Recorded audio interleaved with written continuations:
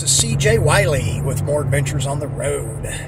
I'm uh, touring through Louisiana right now, I'm thinking about playing a tournament in uh, Shreveport. There's three tournaments coming up, and uh, last time I played in three in a row, I did pretty well. I got uh, second in Tulsa. Roberto Gomez beat me. Second in Knoxville. Tony Chohan beat me. I got uh, ninth at the Scotty Townsend. Uh, John Mora was the one that put me out there. So I'm, uh, you know, in the mood to play, and I'm also in the process of writing this book about the mental game of pool. And uh, I wanted to reach out to real players like yourself that have followed my, uh, you know, my story, and see what you would like to see in that book. Because what I'm discovering is I have a lot of information and a lot of different angles to the mental game. So I want to condense it down because I want this book to be, you know, around 100 pages.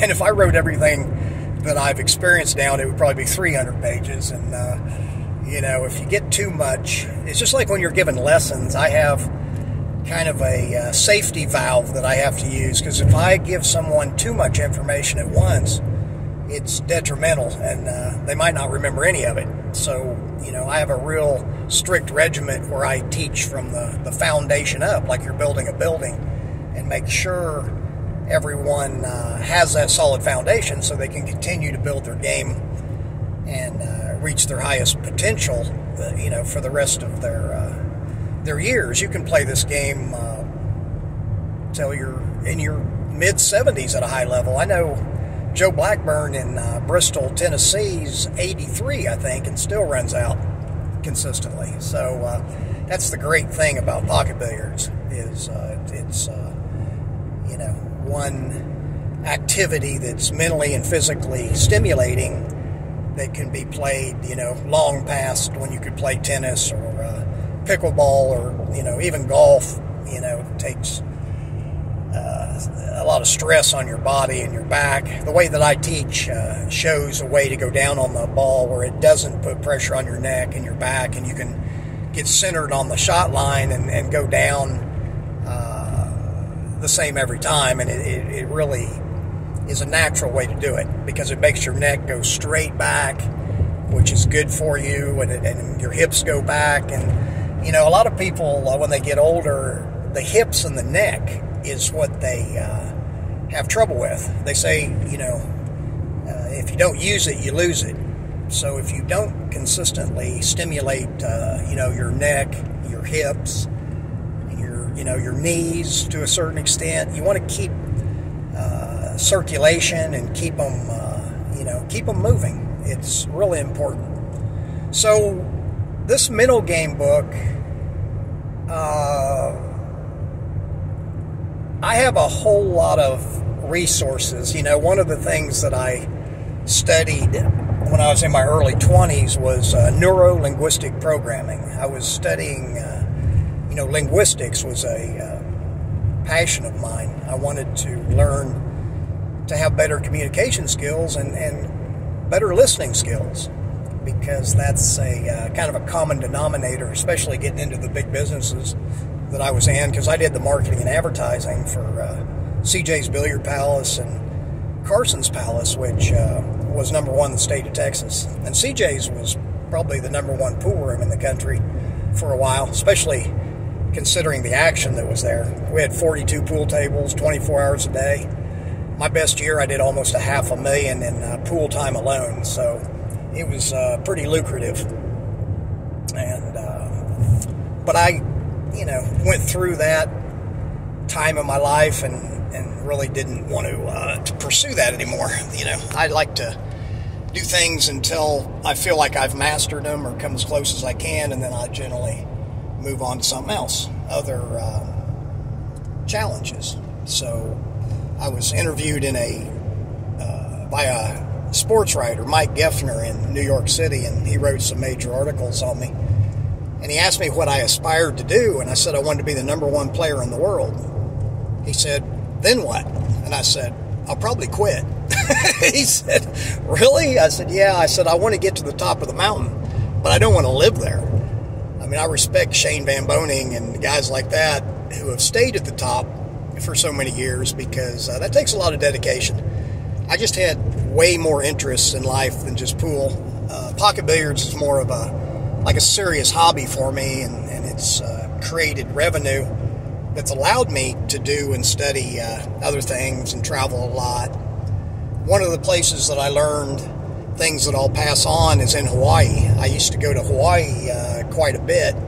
As a matter of fact, I was married in Hawaii uh, on the island of uh, Kauai, where Fantasy Island was filmed, and uh, I got married at the northeast side of Kauai.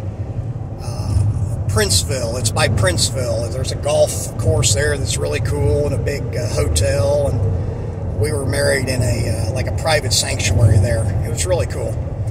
So uh, when we were there, we took a eight day extensive course on the on the Huna. The Kahuna Indians are the natives of Hawaii, and they were very spiritual people and had a lot of techniques that were very advanced. It looks to me like they had kind of a combination of uh, different philosophies from all over the world, which is kind of odd because you know Hawaii's kind of out in the middle of nowhere, you know. But I think at one time the world was a lot more connected than it is now, and you can tell by the architecture all over the world. It's very similar, very Romanesque. They call it Tartarian, like our state capitals in Washington D.C. and there's uh, lots of um, those type buildings that you know now they call them cathedrals and federal buildings and universities and but I don't think that's uh, how they started out.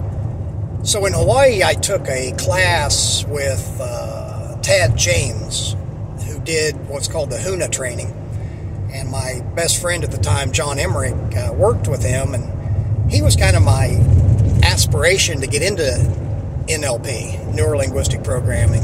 He was still this day one of the smartest people that I've ever met. Definitely, probably, I don't even know what his IQ is. It's, it's incredibly high. When he was 17, he told me there isn't a mathematical problem he couldn't solve, and if it couldn't be solved, he can tell you in less than five minutes to prove he's not a servant. And uh, he was pretty literal with that. He ended up doing really well in business and actually lives in Hawaii now.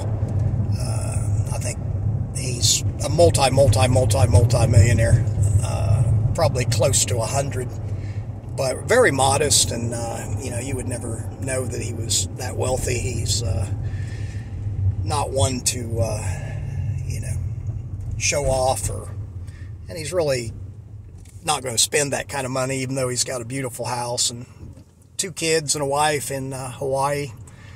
Right, uh, it's across from uh, or down from the, the zoo in Honolulu. He own, he actually owns a hotel across the street from the zoo.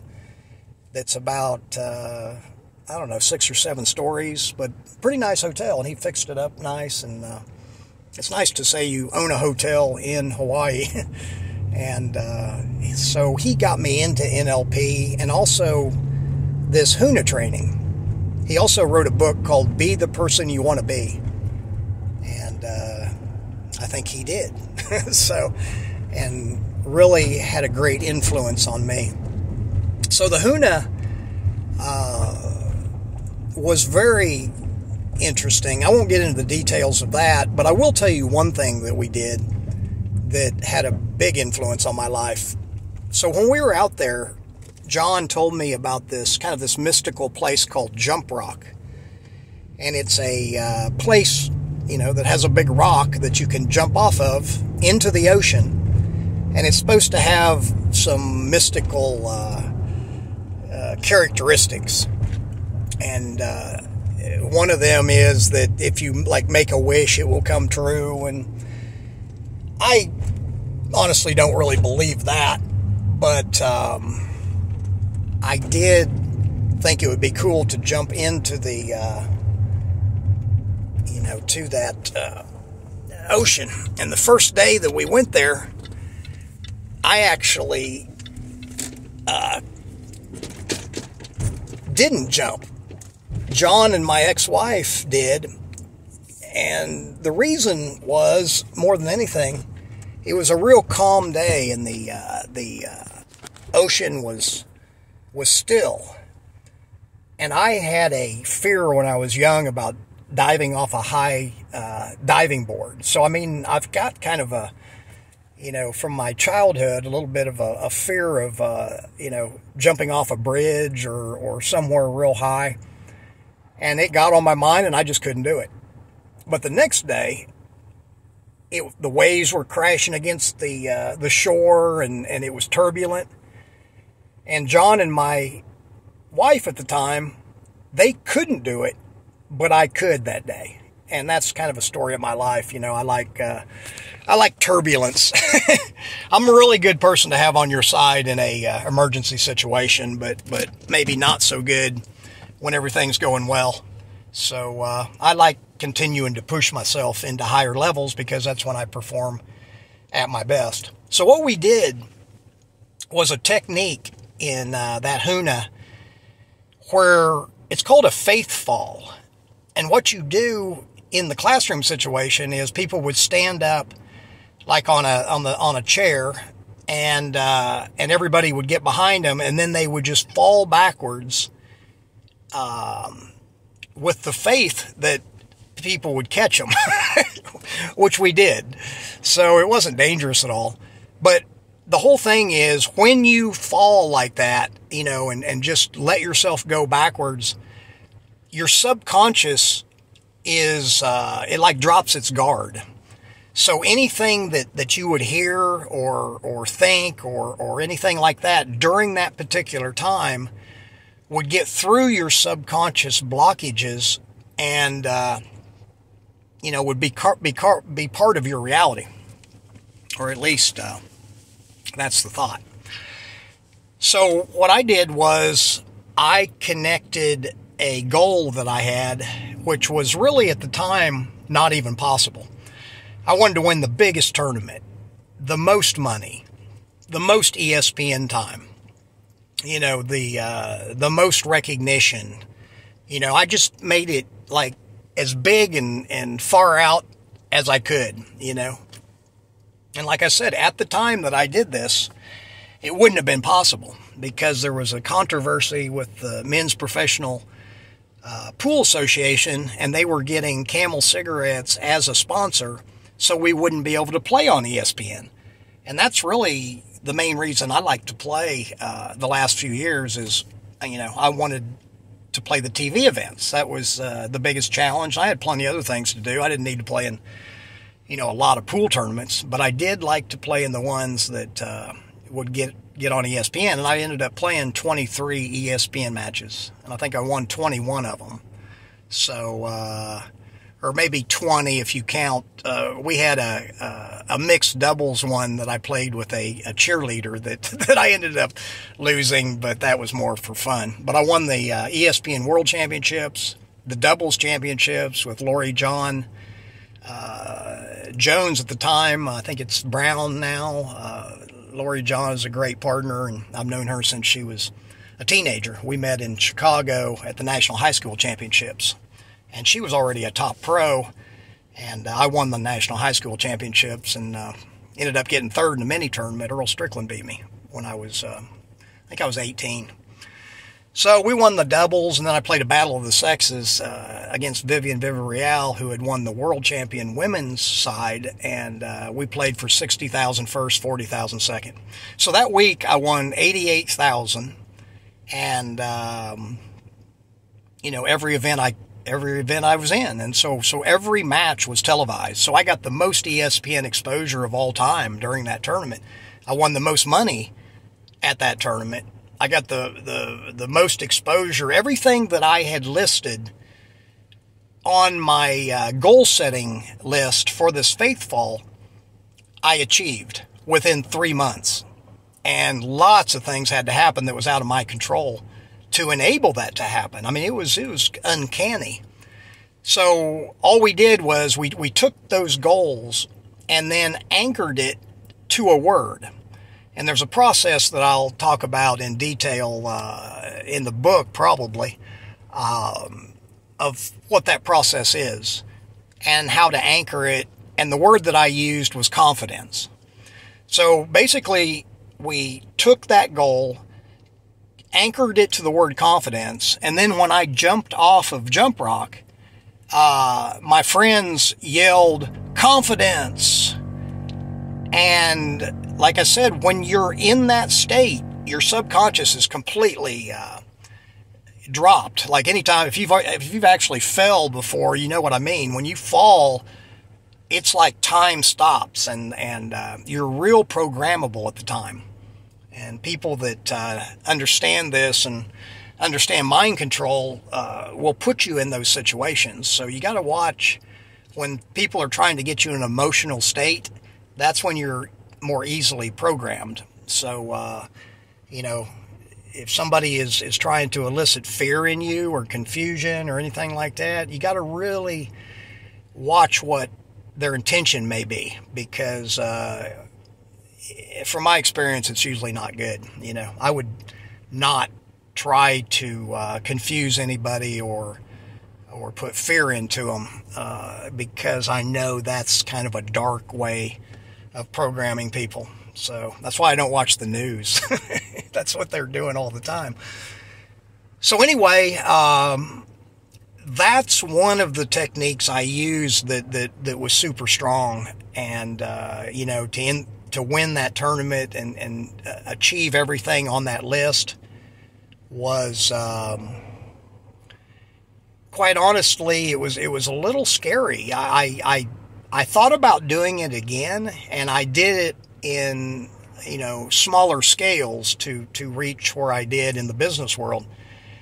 But there was a point when uh, I think you got to be careful about having the ability to achieve whatever your goals are because we can't see the future and sometimes you know like if you wish to have a million dollars next week uh, yeah if you got the million dollars you, you might be surprised how much that would hurt your life I've been in situations where I was a multimillionaire and uh, had powerful positions with other people where they they knew that you know I could influence their life in a positive way, and I, I quite honestly didn't know who my true friends were. And when that chapter of my life was over, I found out I didn't have many. that most of them just went on to the next place that uh, they may be able to to get something off somebody, but I, I would rather um, be more genuine. You know, my goal in life isn't to make a, a lot of money. I've done that. Uh, my goal is to help other people and, and, and try to, uh, you know, create a legacy that is uh, positive and, and actually have a positive influence on as many people as I can. Because at this point in my life, the only way I can help myself is to help other people. So that's what this book is about and that's why I'm asking you to uh, write down some questions, comments. Uh, you know, uh, when uh, you know, in doing this, it's helping me understand what people really want to learn these days, so that the book isn't 300 pages and the uh, you know, if it's 100 pages, all of them are quality and, and have to do with things that, that I think you'll you'll like and enjoy. So if you will do that, and if you like my videos, uh, please like, share, and uh, subscribe to my YouTube channel if you're not already. And uh, share this with other people. You know, I've got a lot of videos that I've done in the past uh, five or six months that, that are getting great reviews and helping a lot of people.